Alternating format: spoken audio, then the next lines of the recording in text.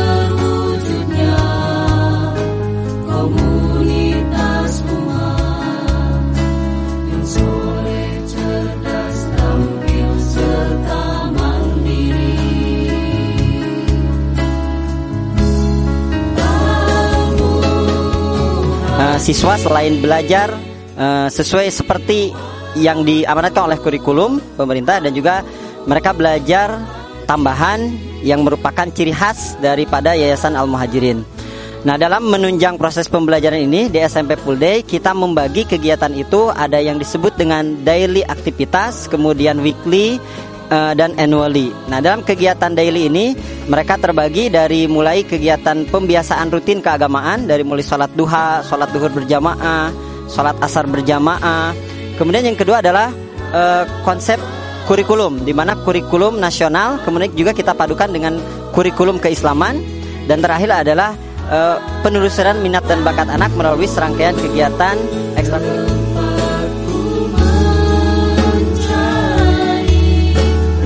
Senhor.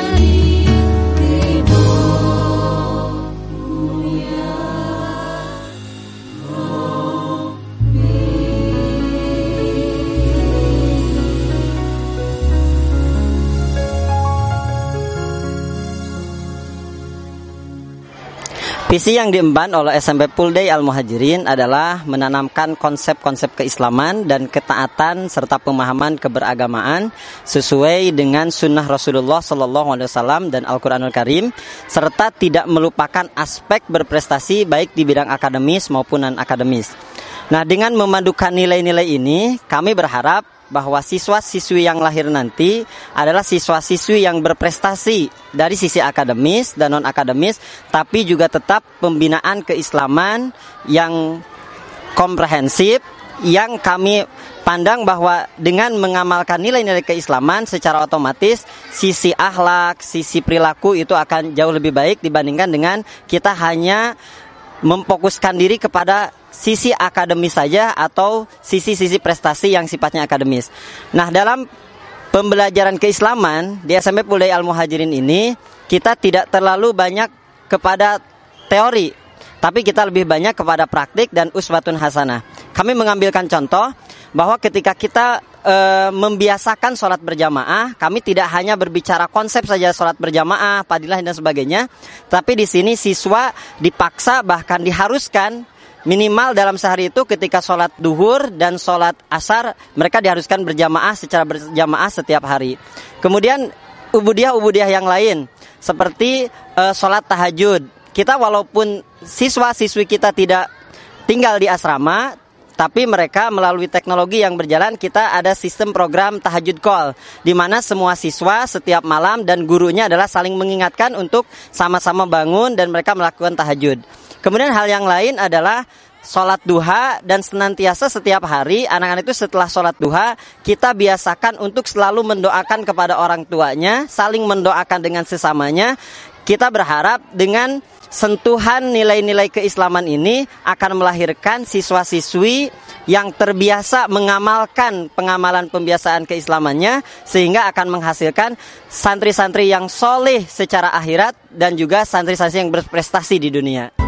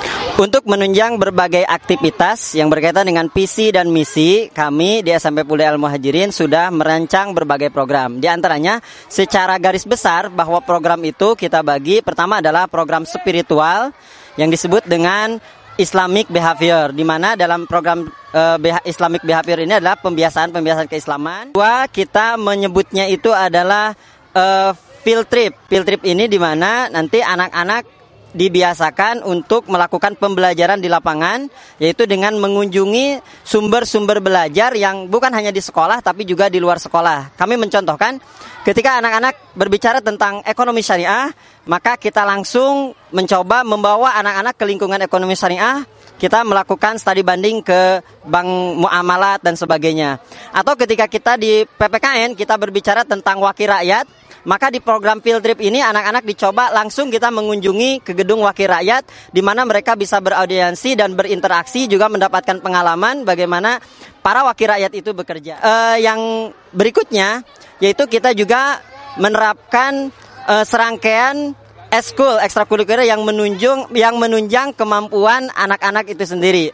Uh, di kami eskul itu sangat variatif kita membaginya ada ekskul olahraga, kemudian ekskul sains, kemudian ekskul musik. Nah, di olahraga sendiri ada beberapa ekskul, di antaranya bola basket, kemudian futsal, ada badminton, kemudian uh, ada taekwondo, ada pencaksilat.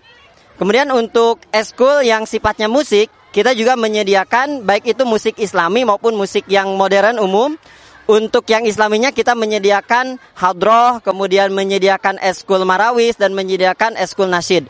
Kemudian dari musik modernnya kita juga menyediakan uh, grup band sehingga anak-anak juga selain mereka terampil sisi musik islami juga musik-musik yang modern yang saat ini berkembang. Tapi kita harapkan dengan musik modern ini kita bekali juga bahwa musik modern itu dipakai untuk sebagai media dakwah ya anak-anak main band tapi lagu-lagunya itu kita seleksi adalah lagu-lagu yang bernuansa dakwah. Kemudian juga selain itu juga mereka e, bisa mengambil biola kemudian bisa mengambil organ kemudian bisa e, drum dan sebagainya.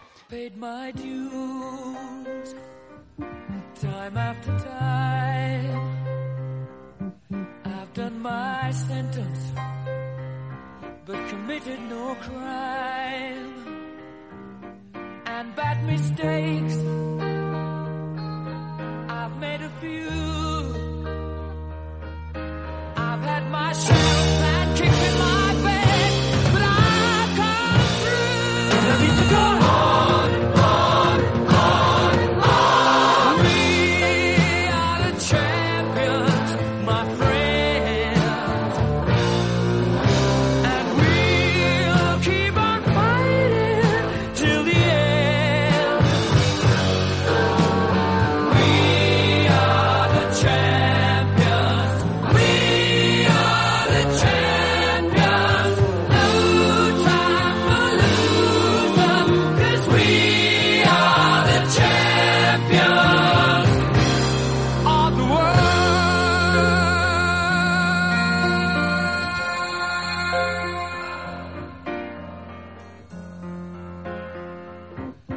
taken my bows and my curtain calls. You brought me fame and fortune and everything that goes with it. I thank you all, but it's been no bed of roses.